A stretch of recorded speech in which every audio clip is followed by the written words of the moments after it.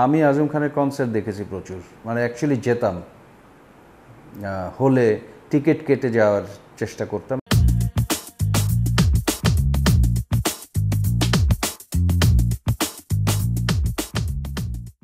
Welcome to News 24. This is your host Manju Ahmed, and I have Shafin Ahmed from my Shafin ভাই আমাদের সাথে আজকে আছেন। শাফিন ভাই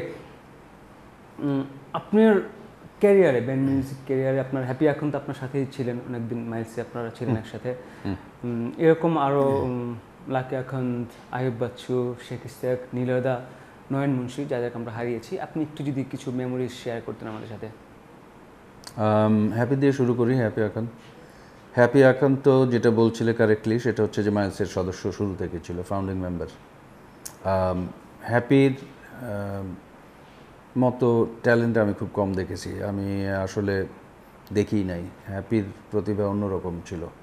একাধারে গিটার বাজাতো পিয়ানো বাজাতো কিবোর্ড বাজাতো, গান করতে পারতো এবং কান খুব শার্প ছিল। মিউজিশিয়ানের এটা খুব ইম্পর্ট্যান্ট একটা ব্যাপার। গান তোলার ব্যাপারে বা নোট টোট সিলেকশনের ব্যাপারে দেখতাম যে ইস ইজ ভেরি গুড হ্যাপির সাথে অনেক টাইম কেটেছে একসাথে। আমার আমাকে হামিনকে খুব লাইক করতো। আমাদের বাসায় সময় কাটাতো। এমনি এমনি। দিনে ফ্রি থাকলে চলে আসতো। আমার মনে হয় একবার এক টানা বোধ প্রায় তিন মাস ছিল আমাদের বাসায়। বিকজ ও বোধহয় বাসায় হয়তো কিছুটা ডিস্টার্ব ছিল, তার নিজের বাসায়। তো কীরকম যেন একটা এসকেপ করার মতো মানে একটা জায়গা খুঁজতো। শান্তির জায়গা খুঁজতো। এবং মিউজিকের থেকে বড় শান্তি সে আর কোথাও পায় না। সুতরাং আমাদের দুই ভাইয়ের সাথে তার একটা অন্যরকম বন্ডিং বন্ডিং হয়েছিল এবং সময় কাটাতো। কিন্তু আমরা অ্যাট দ্য সেম টাইম ইয়েতে চাম্বেলিতে বাজাতাম ইন্টারকন্টিনেন্টালে তো সেখানে আবার ওই ডিসিপ্লিনের ব্যাপারটা ছিল। ডিসিপ্লিনের জায়গাতে হ্যাপি একটু সমস্যা হতো টাইম মেনটেন করতে। তো আমরা হেল্প করতাম একে অপরকে বোঝানোর চেষ্টা করতাম। এইভাবে সময় চলতে চলতে ট্যালেন্টের কথা তো বললামই, ওটার ব্যাখ্যা বেশি দেওয়া যাবে না। This is just too good একটা ট্যালেন্ট ওভার ইয়ে ওভারলোডেড ট্যালেন্ট দিয়ে মাথার মধ্যে। জাস্ট মনে পড়ল কথা বলতে বলতে, আমেরিকার থেকে একটা কোনো এনজিওর জন্য কোনো একটা মেয়ে আসছিল বেটি Ann Betty Ann Betty Ann came to Dhaka through some social ওয়ার্কের জন্য অ্যান্ড আমাদের সাথে যোগাযোগ হয়েছিল somehow got in touch because সেও মিউজিক পড়াশোনা করছিল। She is a masters in music masters পর্যন্ত করে আমেরিকার থেকে। তো বেটি অ্যান্ড হ্যাপিকে দেখে আমাদের সকলকে দেখে শি রেকগনাইজড যে হ্যাপির ট্যালেন্ট কিন্তু অসাধারণ। মানে সাধারণের অনেক ঊর্ধ্বে।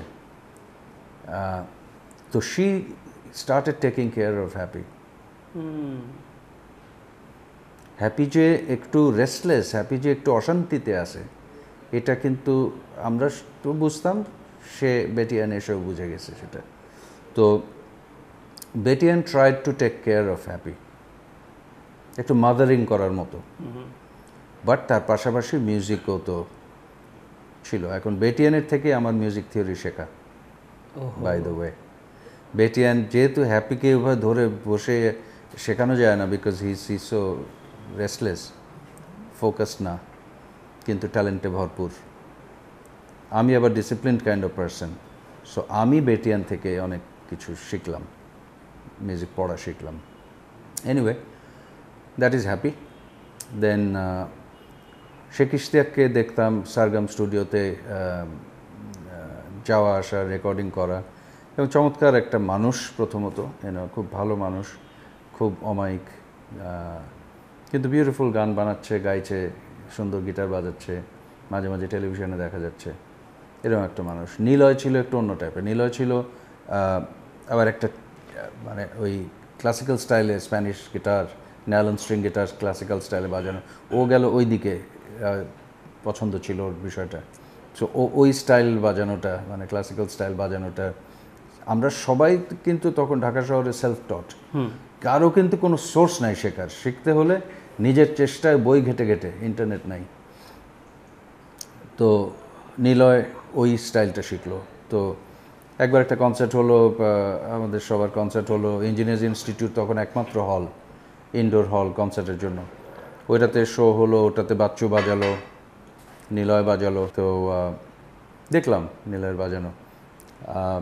Niloy শেখাতো he was a he was a teacher অনেক স্টুডেন্ট তার ওই স্টাইলটা শেখার জন্য। নিলয় ছিল এরকম। তারপর তো চলতে চলতে আমরা নয়নকে হারালাম শুরুর দিকে, অনেক আগে হারালাম। নয়ন এক সময়, একটু আগে নয়নের কথা বলছিলাম একসাথে তো বাজাতাম। নয়ন চলে গেল ক্যানাডায় অ্যান্ড দোজ ডেজ ক্যানাডা তো আরও গ্রাম জঙ্গল মানে কোনো লোকই যায় না সেখানে। এত ঠান্ডার দেশ। তো ও বোধ হয় he started living in Edmonton এডমন্টনে গিয়ে বোধ হয় আত্মীয় স্বজন কেউ ছিল। ও তো মিউজিক ছাড়া কিছু বোঝে না। মানে ওর নয়নের এমনও গেছে দিন যে সাত দিন, দশ দিন ও নিজের চেহারা নিজে দেখে নেই। বানানো কথা না, একেবারে জেনুইনলি ও আয়নার সামনে গিয়ে নিজের চেহারাও দেখে নেই। But he was good looking and ও ঘুম থেকে উঠে গিটার, ঘুমাতে যাওয়া গিটার। মাঝখানে সারাদিনও গিটার। আর কোনো দিকে কোনো নজর নাই। তো চলে গেল ক্যানাডায়। নয়নকে আবার রিক্সাতেও বাজাতে দেখতাম। রাস্তাঘাটে মানে প্রায় দেখা যেত নয়ন যাচ্ছে সায়েন্স ল্যাবের ওদিক দিয়ে মিরপুর রোডের ওদিক দিয়ে ধারণা যাতে। রিক্সায় যখন ট্রাভেল করতেছে প্লেইং গিটার অ্যাকুস্টিক গিটার সবসময় হাতে আছে। এডমন্টনে গিয়ে যেটা হলো ও একটা ব্যান্ড ফর্ম ব্যান্ড জয়েন করল ফর্ম না জয়েন করল বাজাতে শুরু করল ওখানের কোনো একটা ক্লাব বা হোটেলে কত এক্সাইটেড হয়ে আমরা যেহেতু শুরুর দিককার ফ্রেন্ড আমাদেরকে টেপ পাঠালো। শুনে দেখি আরে অন্য লেভেলে পৌঁছায়। সাথে সাথে লেভেলটা চেঞ্জ হয়ে গেছে। ওদের রেকর্ডিং কোয়ালিটি ইজ ডিফারেন্ট লাইভের একটা রেকর্ডিং তো বুঝছি যে হি ইজ হ্যাপি সে তার জায়গা পেয়ে গেছে মিউজিকের জায়গা পেয়ে গেছে ছেলেপেলে পেয়ে গেছে হি ইজ প্লেয়িং মিউজিক কিন্তু দুঃখের বিষয় হলো যে শীতের সিজনে বরফ পড়ে প্রচুর। আরও গাড়িও কিনে ফেলল তাড়াতাড়ি। তাড়াতাড়ি গাড়ি কিনে ফেলল বাট চালায় না তো মানে বরফে চালানোর অভ্যেস নেই। সেরকম একটা উইন্টারে বরফের রাস্তায় গাড়ি অ্যাক্সিডেন্ট হলো। He had a Honda or something he hit a lamppost গাড়ি তো স্কিড করে যায় বরফে তো hit a lamppost lamppost and পুরো জিনিস steering wheel on the chest একটা ক্রাস্ট হিম পুরো। তো নয়ন মারা গেল শকিং বডি আসলো দেখলাম সব কিছু করলাম টরলাম। এরপরে তো মোস্ট সাম্প্রতিক যেটা সেটা তোমরা সবাই জানো বাচ্চুর কেসটা আয়ুব বাচ্চুর যাওয়াটাও আমি মনে করি যে খুবই অসময়ে চলে যাওয়া কারণ তার দেবার অনেক কিছু আরও ছিল, অনেক কিছু ছিল, আর অনেক বছর মিউজিক করার ক্ষমতা ছিল। এটা সবাই এক্সপেক্ট ধরেই নিয়েছিলাম কেউ তো এক্সপেক্ট করি নাই যে আমাদের সমসাময়িক যারা, তাদের মধ্যে থেকে কেউ যে এক্ষুনি চলে যাবে, এরকম সময় এসছে বলে কোনো সময় মনে হয় নাই। এই জন্য অনেকটা আমরা আবার জানতামও না যে তার হেলথের আসল অবস্থাটা কি ভিতরে। শরীরের অবস্থাটা। এটা সে শেয়ার করতো না, বলতো না। তো মিউজিক সার্কেলে অনেকেই আমরা জানতামই না যে ওর হেলথ কোন অবস্থায় আছে। তো ওই অবস্থায় থাকলে অ্যাকচুয়ালি শোটও করা খুব ডিফিকাল্ট করা উচিত না।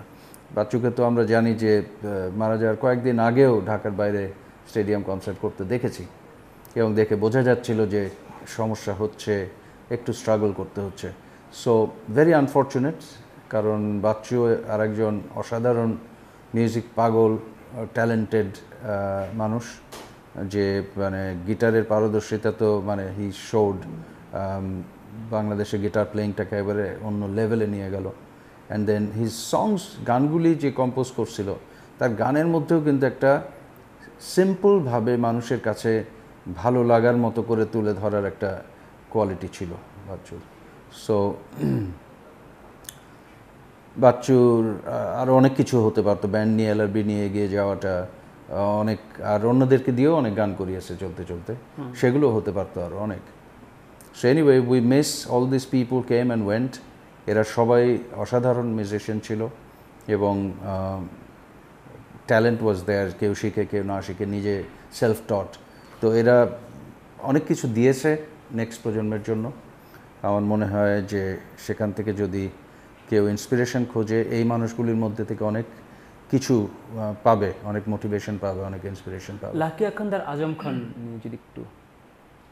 রাইট আজম খান তো কি বলব আমরা স্বাধীনতার পরে দেশ স্বাধীনের পরে বাংলার রক মিউজিক বলতে যা বোঝায় সেটার প্রথম দর্শন আজম খানের মাধ্যমে।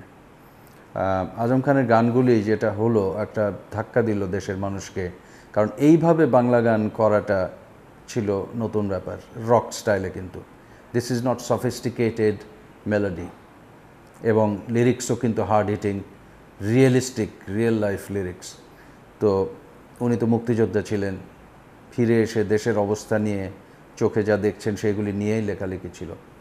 তো আমি তখন বেশ ছোট স্কুলে যাই মিউজিক ওইভাবে শুরু করিনি সিরিয়াসলি আমি আজম খানের কনসার্ট দেখেছি প্রচুর। মানে অ্যাকচুয়ালি যেতাম হলে টিকিট কেটে যাওয়ার চেষ্টা করতাম এবং গেছিও বেশ কয়েকটাতে। তো দূর থেকে হলে বসেও দেখেছি ব্যাকস্টেজেও দেখেছি কাছাকাছি দেখেছি। পরে তো খুব ভালো পরিচয় খুব কাছে টেনে নিত দেখে দেখলেই তো আজম খানের মধ্যে যেটা দেখছিলাম শুরুর দিকে উচ্চারণ ব্যান্ডটা ছিল।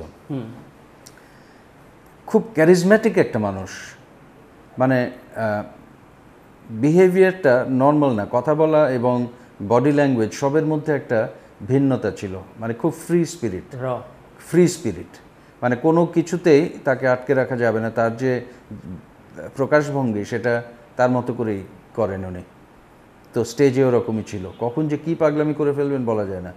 খুব এনজয় করতাম but he looked like a rock star তখন long hair panjabi most of the time and bell bottom pant jeans whatever but overall স্টেজে উচ্চারণ ব্যান্ডটার মিউজিশিয়ানগুলিও ছিল খুব রক ওরিয়েন্টেড ল্যারি বাজিয়েছে ইদু অন ড্রামস ল্যারি ছিল ইশতিয়াক ছিল।